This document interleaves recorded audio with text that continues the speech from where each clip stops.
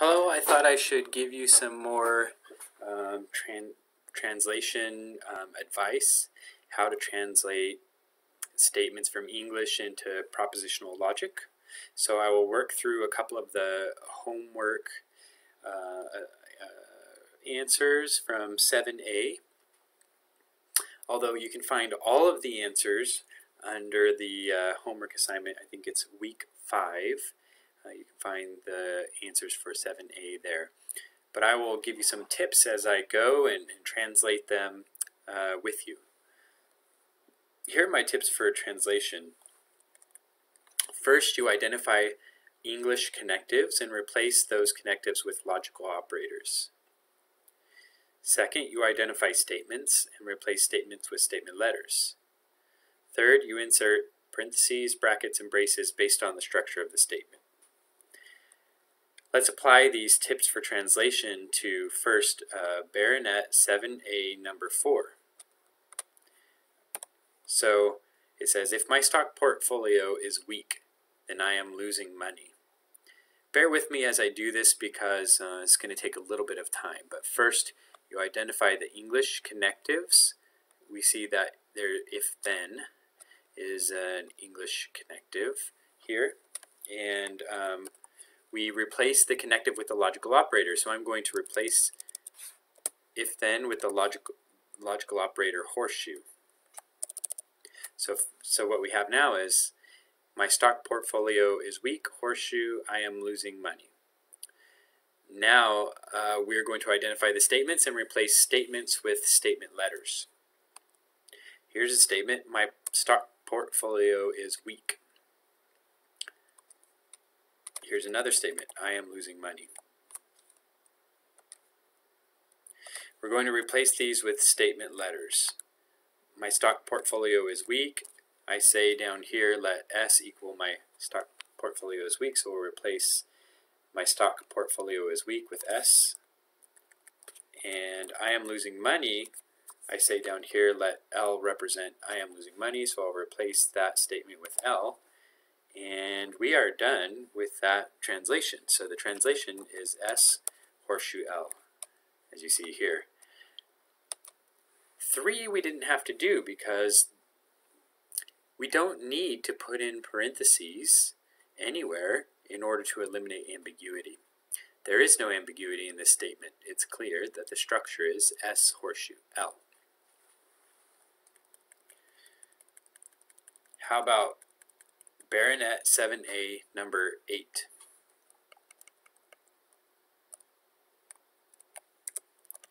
So it says, you pass the exam only if you got at least a C.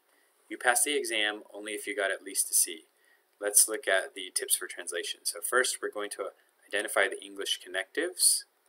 Only if is the English connective. And we want to replace that connective with a logical operator.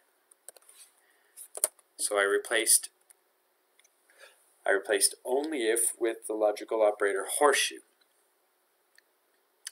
Now, there's a difference between translating if then and translating only if. While both use the horseshoe, it matters which order you put the antecedent, uh, which um, order you put the antecedent and the consequent in uh, in the horseshoe statement. So the antecedent uh, for, let's take this one up here. If my stock portfolio is weak, then I am losing money. When we translated that, we put um, the translation as S horseshoe L with my stock portfolio is weak appearing as the antecedent Remember, the antecedent is the thing that follows directly from, uh, sorry, that, that follows directly after the if. And we put L as the consequent. The consequent is the thing that directly follows the then. So we translate it S horseshoe L. Antecedent comes before the horseshoe, consequent comes after the horseshoe. Now let's look at this one. You passed the exam horseshoe, you got at least a C. The original statement was, you passed the exam, only if you got at least a C.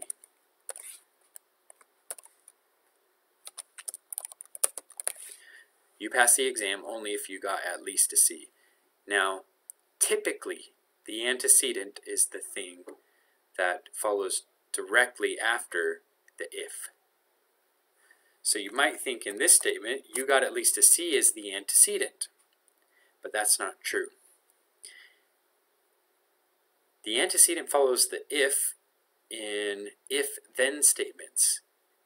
In only if statements, the antecedent follows the sorry, the consequent follows the if.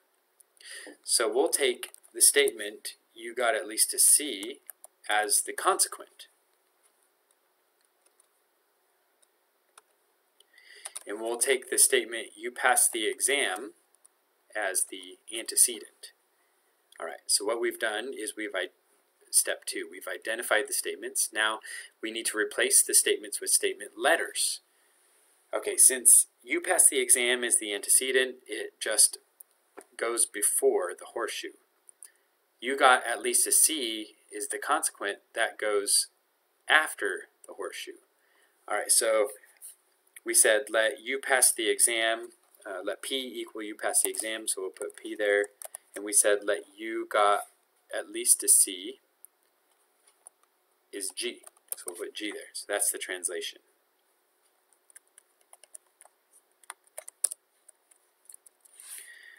Okay, so the difference between if, then, and only if is this. In an if-then statement, the statement that appears immediately after the if is the antecedent and it goes before the horseshoe. The statement that appears immediately after the then is the consequent and it goes after the horseshoe.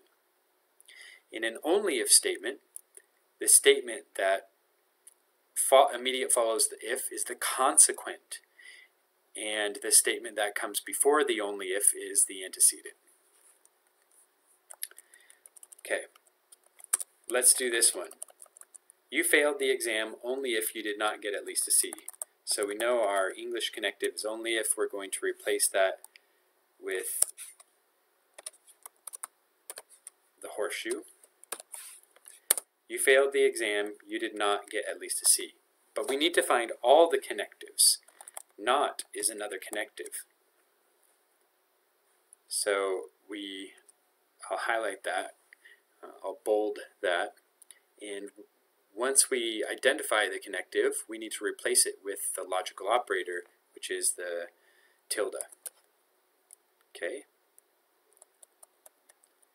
So we've done step one. Let's go back up. Identify English connectives, replace connectives with logical operators. Now we need to do step two. Identify the statements and replace statements with statement letters. You failed the exam. That's a statement. You did get at least a C. That's another statement. We'll move. You did get at least a C is the other statement. We'll move this out here. Alright. We I said here that let I should let F equal you failed the exam and you got at least a C, let G equal that. And so we have F horseshoe tilde G. That's a translation of you failed the exam only if you did not get at least a C. Alright, let's move down to the last one. Toothpaste is good for your teeth, but tobacco is not. First, let's identify the connective, but, and the connective, not. Those are the only two connectives in this statement.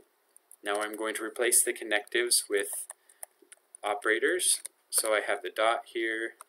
I'm going to replace but with dot because the way that you translate but into our symbolic language is using the dot. And then the way that you translate the not is using the tilde.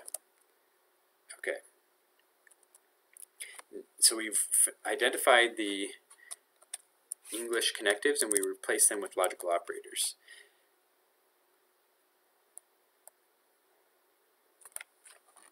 So now let's identify the statements. Toothpaste is good for your teeth. That's one statement. Tobacco is good for your teeth. That's another statement. Now we need to replace the statements with statement letters. So I said let B equal tobacco is good for your teeth, so we're going to do that. And then I said let T equal toothpaste is good for your teeth, so we're going to do that. So this is not a well-formed formula. We need to move this tilde here because it's saying toothpaste, tobacco is not good for your teeth.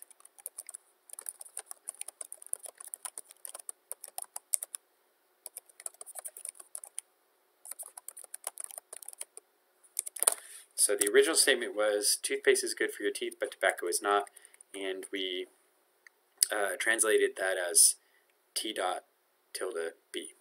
All right, so you have your tips for translation here. I've given you some practice.